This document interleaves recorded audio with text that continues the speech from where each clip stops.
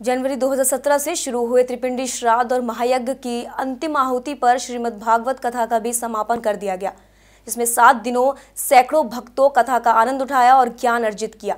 इसके बाद अधिक जानकारी देते हुए अद्भुत धाम हनुमान मंदिर के महंत श्री लक्ष्मी नारायण आचार्य जी ने बताया कि कथा के समापन के पर सम्मान समारोह आयोजित किया गया और साथ भंडारे का भी आयोजन किया गया।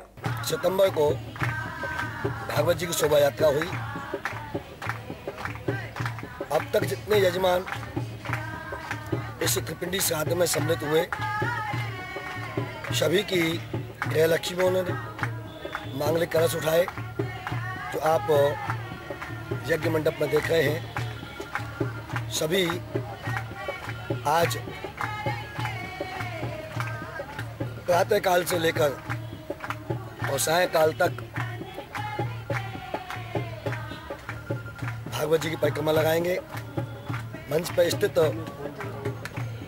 जो यजमानों के पितृलोक स्थापित है कलश के अंदर, इनकी परिक्रमा लगाएँगे। और आज क्योंकि अमावस्या तिथि है। प्रातःकाल आज भी अधिक संख्या में यजमान लोग आए, उन्होंने त्रिपिंडी श्राद्ध किया।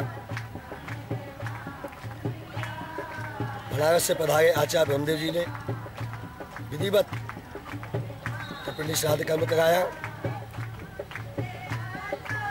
विवेक शास्त्री जी ने यज्ञ में आहुति लगवाई और क्योंकि आज नौवें महीने की अमावस्या है, समस्त यजमानों कल्याण हेतु सात दिन तक श्रीमद भागवत कथा हुई।